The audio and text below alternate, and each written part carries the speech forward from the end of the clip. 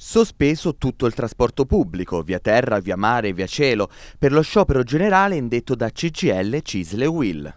Domani e dopodomani potrebbero esserci gravi disagi per chi si sposta in bus o in treno, mentre lo sciopero del personale del trasporto aereo proseguirà fino alla giornata di venerdì.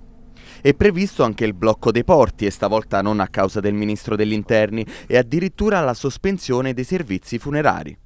Lo sciopero, che si prospetta super partecipato, si propone nell'intenzione dei sindacati di fare pressione su istituzioni, imprese nazionali e regionali per tutelare i lavoratori del sistema dei trasporti per puntare un faro sugli infortuni e sulle ancora troppe morti sul posto di lavoro, affinché si trovi una soluzione per la concorrenza al ribasso, che prolifera tramite lo sfruttamento del lavoro in nero e l'evasione fiscale, ma anche per chiedere ragione dei 58 milioni che il governo ha tagliato al Fondo Nazionale Trasporti.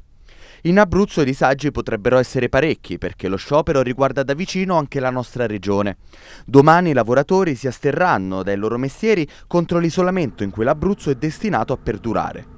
Sì, perché nel frattempo aumenta di circa il 30% il costo dei biglietti del treno a causa del cambio di nome dei Freccia Bianca nonostante la durata del viaggio rimanga invariata.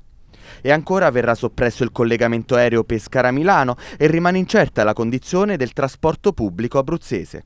Mentre i cittadini continuano a lamentare disservizi sui vetusti mezzi pubblici, la società unica abruzzese di trasporto potrebbe chiudere in rosso anche il prossimo bilancio.